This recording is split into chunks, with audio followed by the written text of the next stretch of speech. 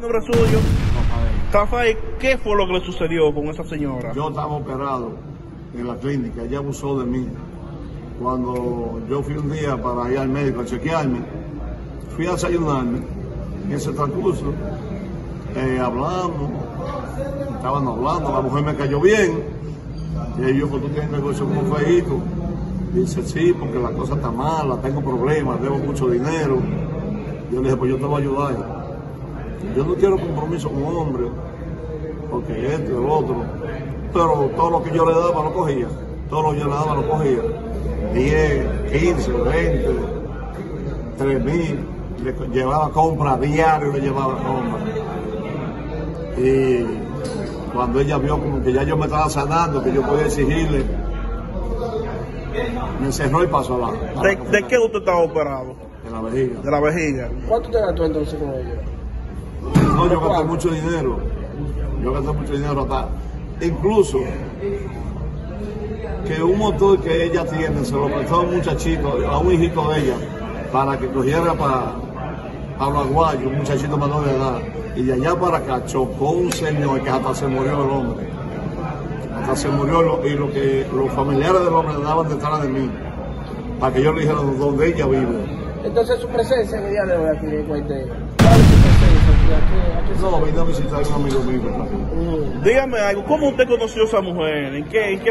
Allá en mi materno. ¿En la materno? Sí, Cuando usted estaba operado, ¿la conoció allá? Sí, le- en la cafetería. Yo iba al médico a chequearme y entraba a desayunarme ahí. Entonces usted enamoró de ella. Y ella empezó a decir mi marido, mi marido, mi marido, mi marido. ¿En cuánto más o menos está valorando todo lo que usted le ha dado? ¿Un número? No, ¿Usted ellos, decir? ellos son muchos, pues yo le calculé, ella me dijo a mí, como cuánto tú me has dado un día? Yo le dije, como 121 mil, le tiré ese tiro. Sí, son ciento y pico, ella misma me dijo. Ella misma. Ella misma. eh, ¿por qué cayó preso usted? ¿Cuál fue su culpa? Ella me metió preso. ¿Y qué- ¿Por qué? porque, porque teníamos distanciamiento y yo voy a la clínica a chequearme, me prohibió que entrara a la clínica. Y la administración no ha dicho nada. Yo soy cliente por muchos años en esa clínica, por muchos años. Me he hecho cinco operaciones ahí.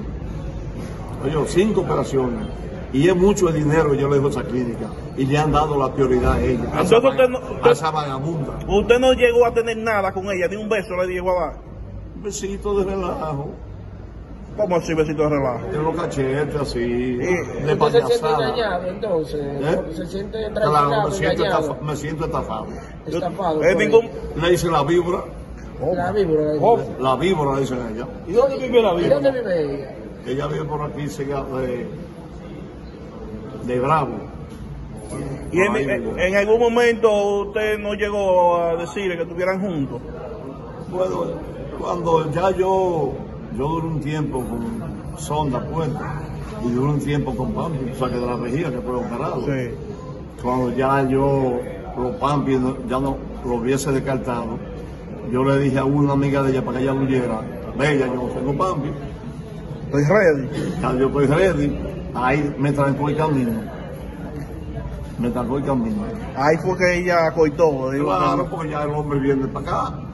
Y ella un día me dijo ella misma, todo hombre que da es para exigir. Claro. Y yo le dije, tú estás diciendo la verdad. Entonces usted le exigió y ella lo metió preso. No, yo recién, recién me sometió ella y nos dieron, nos dieron una carta de distanciamiento. Ajá. Y el de que que me ve me está grabando video. Yo le quiero hacer sometimiento por los videos. Entonces, totalmente duró tiempo. preso. Siete días duré bajo sufrimiento. Yo nunca había caído preso.